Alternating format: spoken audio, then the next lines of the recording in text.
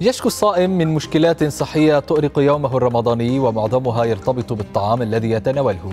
لذا فإن الجهاز الهضمي هو الأكثر تأثرا في شهر رمضان. التقرير التالي يرصد مجموعة من أبرز تلك المشكلات ثم نستقبل ضيفنا.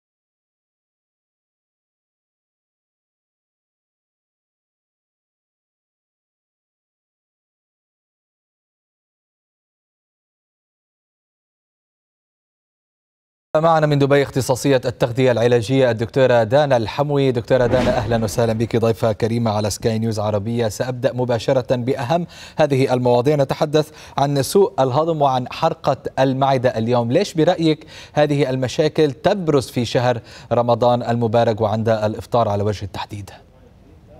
أول شيء أهلا وسهلا فيك وشكرا لاستضافتكم.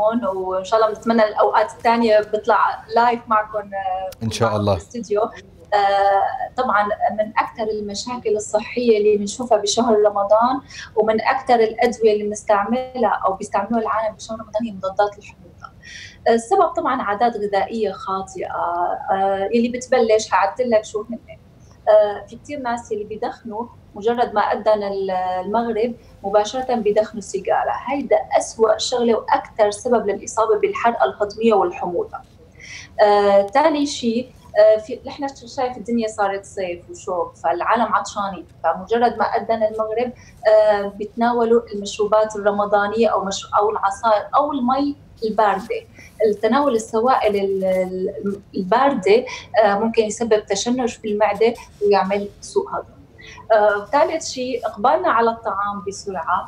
وطبعا إحنا ما منع... مثل ما بنعرف الموائد الشرقية عامرة بما لذ وطاب من المقبلات واللي هي غالبا آه، بتزين ست البيت وبتزينها وبتستعمل المقبلات المقليه وبتكثر انواع فالاقبال بتناول بسرعة بكميات كبيرة للمقبلات واللي ممكن تكون مقلية ممكن يسبب سوء هضم وحرقة هضمية.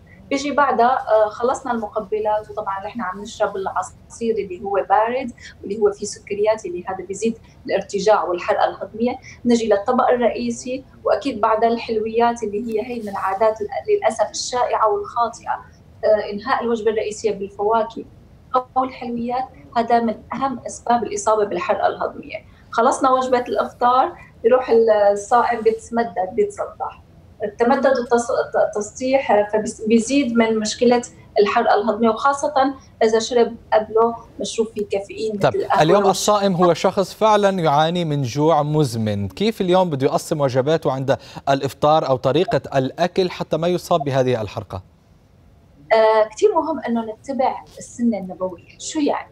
يعني اذن المغرب بنكسر صيامنا على التمر وعلى ماء آه، معتدل الحراره أو لبن زبادي وبنروح بنصلي المغرب وبنرجع هل هل فترة الفاصل لما بنروح بنصلي المغرب وبنرجع هون بيكون مستوى السكر بجسمنا تعدل.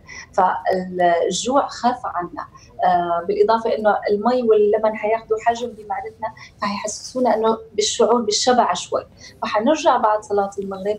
ما حنقبل على تناول الطعام بنهم وبسرعة كبيرة وممكن آه, آه، طبعا من العادات اللي ما قلتها إنه بيمضغوا الطعام بسرعة وما بيلحقوا يمضغوه جيدا هذا اللي بيزيد من مشكلة التجشؤ وسوء الهضم والحرقه الهضميه اذا اتباع السنة النبوية وتقسيم وجبة الأفطار طيب. إلى ما قبل طيب. صلاة المغرب وبعد وضحت دانا حتى ما يداهمنا الوقت. أريد أن أسألك عن موضوع الخمول والنعاس. فعلا نحن برمضان أشخاص بنكون صائمين ما عندنا القدرة على لا شرب الأمور يلي بتصحي مثل الكافيين وغيرها وحتى ما في طاقة بسبب عدم وجود الأكل. كيف من كافح هذه الأفة اللي هي النعاس والخمول؟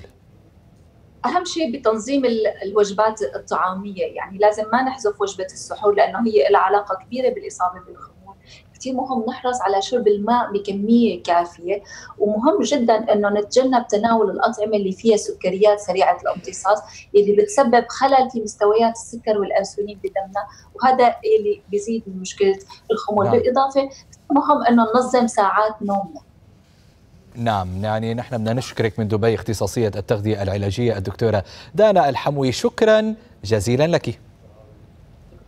والآن عودة إلى مها.